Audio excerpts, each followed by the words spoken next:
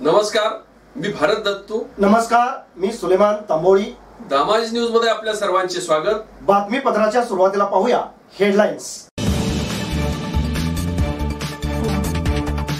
पंढरीत गुटख्यासह पस्तीस लाखाचा मुद्देमाल जप्त. अवैध वाळूच्या उपसा प्रकरणी पाच जणांवर गुन्हा. वाहनासह सदोतीस लाखांचा मुद्देमाल जप्त. रेमडेसिवीर इंजेक्शनच्या किमती व साठा दरफलकावर लावा जिल्हाधिकाऱ्याचा औषध दुकानदारांना आदेश. वाळू चोरी करणाऱ्या एका विरुद्ध गुन्हा दाखल. लक्ष्मी देवडी मंदिरातील चांदीच्या पादुका चोरट्यांनी पळवल्या.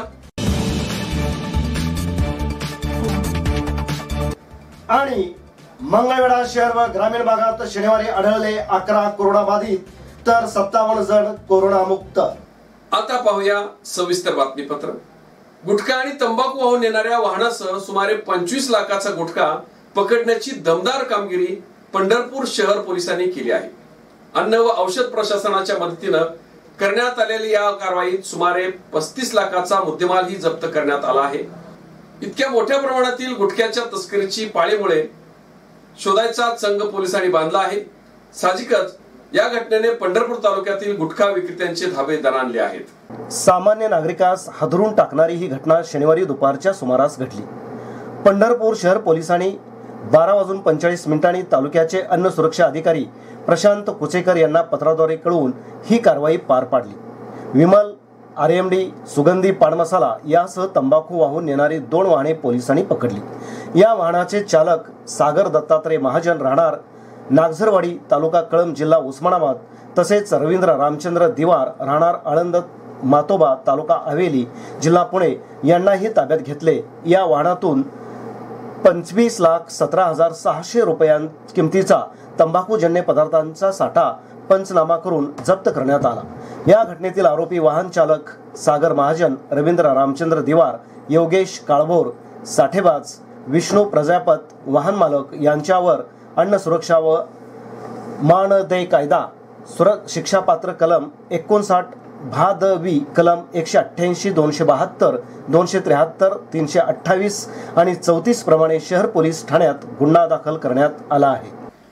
मोहळ तालुक्यातील कामती पोलीस ठाण्याच्या हद्दीतील शिंगोली गावाजवळील सीना नदीतून अवैध वाळूचा उपसा करताना सोलापूर ग्रामीण च्या विशेष पोलीस पथकाने छापा टाकून एक जेसीबी दोन ट्रॅक्टर यारी व दोन ट्रॉली असा एकूण सदोतीस लाख एकवीस हजार रुपयांचा मुद्देमाल जप्त करून पाच जणांवर कामती पोलीस ठाण्यात गुन्हा दाखल केला आहे.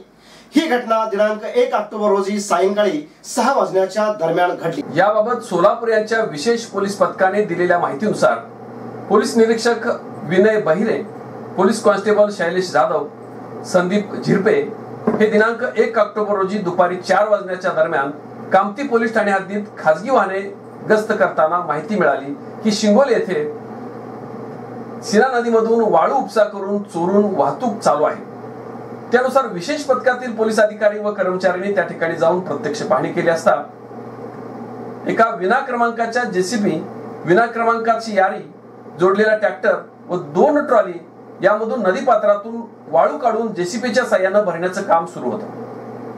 पोलीस पथकाने छापा मारताच नवनाथ भगवान गोरे राहणार निसर्ग हॉटेल जवळ शिंगोली हा पळून गेला तर लक्ष्मण शिवाजी खांडेकर राहणार शिंगोली आनंद हरी जाधव राहणार तिरे अशफाक छोटेखा पठाण संतोष भगवान गोरे दोघेही राहणार निसर्ग हॉटेल जवळ.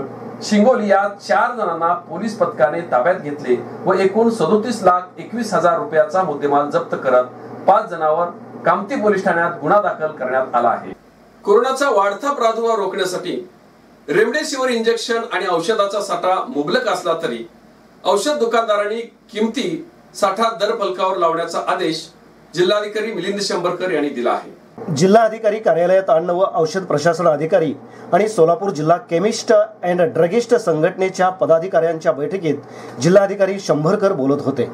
यावेळी निवासी उपजिल्हाधिकारी अजित देशमुख अन्न आणि ना- औषध प्रशासनाचे प्रभारी सहाय्यक आयुक्त नामदेव भालेराव केमिस्ट संघटनेचे अध्यक्ष बसवराज मनोरे माजी जिल्हाध्यक्ष कय्यूम इनामदार उपाध्यक्ष सिद्धेश्वर घाळे सचिव राजशेखर बोराळे हुमा मेडिकलचे यासीद शेख उपस्थित होते. औषध आणि इंजेक्शन बाबत गैरसमज पसरवणाऱ्यावर कारवाई करण्याचे निर्देश शंभरकर यांनी अन्न व औषध प्रशासनाला दिले.